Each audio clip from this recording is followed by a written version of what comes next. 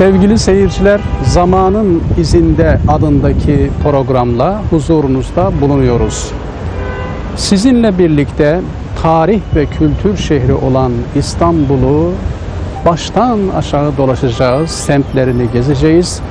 Bu güzel şehrin camilerindeki manevi havayı birlikte teneffüs edeceğiz. Saraylarını dolaşarak Osmanlı ihtişamını daha yakından göreceğiz. Çeşmelerinden su içerek Osmanlı su medeniyetini yakından temaşa edeceğiz. Şu anda bu tarihi şehrin merkezinde bulunuyoruz. Öyleyse Beyazıt Meydanı'nı daha yakından tanımak için sizleri meydana davet ediyorum.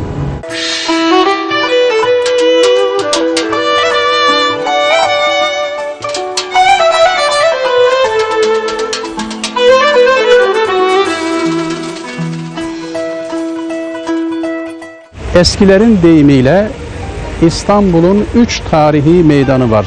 At Meydanı, Et Meydanı, Beyazıt Meydanı. Tabi Beyazıt Meydanı'nın Bizanslılar zamanındaki adı değişik. Forum Teori. Tarihlerden öğrendiğimize göre o zamanlar bu meydanda bir boğa heykeli bulunuyor. Bergama'dan getirilen ve bakırdan olan bu heykel efendim e, hırsızları, suçluları, siyasi suçluları cezalandırmak için feci bir şekilde kullanılıyor. Yani bu bakır heykelin içerisine suçlu sokuluyor, altına ateş yakılıyor, böyle korkunç bir şekilde cezalandırılıyor. İşte bu e, bakırdan boğa heykeli bu meydanda bulunduğu için Bizanslılar zamanındaki adı Forum Tauri olarak kalıyor. Yine Evliya Çelebi'mizin anlattığına göre Bizanslılar zamanında bu meydanda bir havari var Şemun isminde. Buraya bir kilise yapmış. Efendim işte hayvanlar arasında, kuşlar arasında yaşamak istiyor. Kilisenin bitişiğinde de bir şifalı su var. Hatta bizim yerli kaynaklardan bazıları Fatih Sultan Mehmet'in de vefat edene kadar bu sudan içtiğini kaydediyorlar. Osmanlılar zamanında tabii ki bu tarihi meydan bir takım siyasi, efendim içtimai hadiselere, olaylara e, sahne oluyor. Beyazıt Meydanı'nda meydana gelen, vukua gelen olayları tabii e, uzun uzun anlatmak şu anda mümkün değil. Fakat 16. yüzyılda bu meydanı süsleyen 40 tane dut ağacının bulunduğunu başta ünlü tarihçimiz Reşat Ekrem Koçu olmak üzere e, bir takım yazarlarımız naklediyorlar. 40 e, tane dut ağacına 40 hafız öğrenci çıkarılıyor. Beyazıt Medresesi'nde öğretim gören 13, 14, 15 yaşındaki 40 hafız çocuk yine Beyazıt Külliyesi'nin önemli binalarından birini teşkil eden Beyazıt Hamamı'nda sabahleyin yıkanıyorlar. Efendim her bir ağaca bir çocuk çıkıyor, dutları silkeliyorlar. Efendim e, tertemiz bezler üzerinde biriken bu dutları Beyazıt-ı Veli'nin ruhu için teberrüken İstanbul halkına bedava dağıtıyorlar. Evliya Çelebi'mizin anlattığına göre 4-5 e, yaşına geldiği halde konuşamayan yahut işte e, kekeme olan insanlar bu dutlardan yerse şifa bulur, dilleri açılırmış. Tabi bu Beyazıt Meydanı'nı üç defa boydan boya dolaştıktan sonra e, dut ağacına çıkıp bu dutları silkeliyorlar. Sadece dut ağaçları değil, o tarihlerde Beyazıt Meydanı e, cesim yani e, kocaman efendim çınar ağaçlarıyla da doluydu. Tabi ilerleyen zamanla birlikte maalesef o ağaçlardan şimdi pek eser kalmadı. Ee, Osmanlıların son zamanında da e, menfi bir olaya bu meydanın sahne olduğunu görüyoruz. Sultan Abdülaziz'i tahtından indiren, efendim ölümüne sebep olan Hüseyin Avni Paşa, Mithat Paşa ve daha başka bir takım paşalar Mithat Paşa'nın Soğan Ağa'daki Beyazıt'taki konağında e, toplantı yaptıkları sırada padişahın kayınbiraderi Çerkes Hasan konağı basıyor, Hüseyin Avni Paşa'yı öldürüyor. O zamanki Divanı Harbi Örfi Mahkemesi yani sıkı yönetim mahkemesi e, kendisini cezalandırıyor ve Çerkes Hasan Beyazıt Meydanı'nda üniversitenin kapısına yakın olan bir yerde dut ağacına asılmak suretiyle idam ediliyor.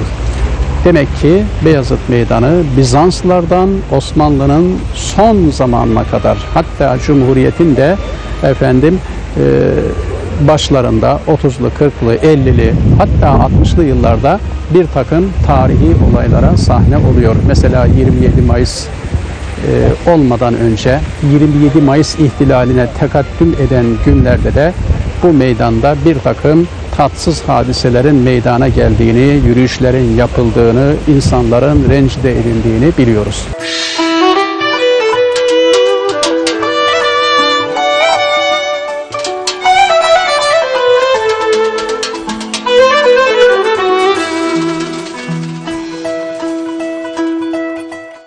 ...30'lu, 40'lı, 50'li yıllarda bu tarihi Beyazıt Meydanı'nın tam orta yerinde daire şeklinde büyük bir havuz vardı. Efendim e, tramvay havuzun etrafında dolaşır sonra veznecilere doğru ilerlerdi. Tabi şimdi o tarihi havuzdan efendim tramvaydan eser kalmadı. Fakat Beyazıt Meydanı bütün bu değişikliklerine rağmen bugün de özelliğini muhafaza ediyor.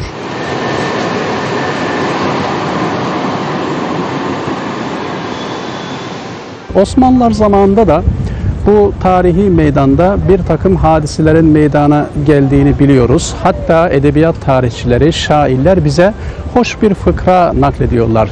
Şair Haşmet bir gün bu meydanda dolaşırken e, o devrin önemli kadın şairlerinden, şairelerinden Fitnat Hanım'la karşılaşıyor ve ertesi gün de Kurban Bayramı'dır. Şair Haşmet böyle rint meşrep bir insan. Koca Ragıp Paşa'nın hafızı kütübü, kütüphanesinin müdürü, hoş sohbet, nüktedan ve zeki bir insan. Nükte yapmak istiyor, espri yapmak arzu ediyor. Diyor ki, hayrola hanımefendi, e, niçin burada dolaşıyorsunuz? Yani buraya gelmenizin sebebi nedir deyince, efendim işte e, hanımefendi diyor ki, şair Fıtnat Hanım diyor ki, malum yarın kurban bayramı, kurbanlık seçiyorum deyince aklı sıra e, taşı gediğine koymak istiyor Haşmet. Diyor ki e, hanımefendi müsaade eder misiniz?